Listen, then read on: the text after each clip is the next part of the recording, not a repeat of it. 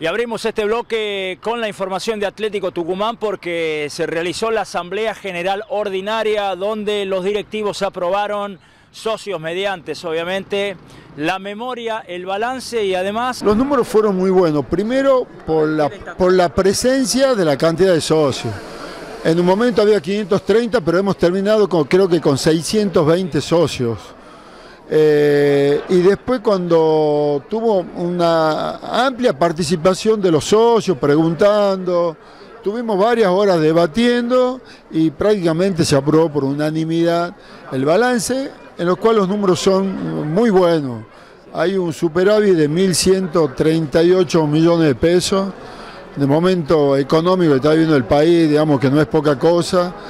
Cuando yo tengo conocimiento, porque soy amigo de presidentes de clubes, y nos damos cuenta que tienen un déficit mensual importante esos clubes y nosotros, digamos, tenemos un superávit con un club en crecimiento, eh, haciendo obra, planteándonos este, ¿Qué objetivos. llegar a tener parte de esos fondos? Digamos? La gente pregunta eso. No, nosotros nos hemos comprometido hacia el año que viene este, poder eh, inaugurar la primera etapa del, del predio de San Andrés.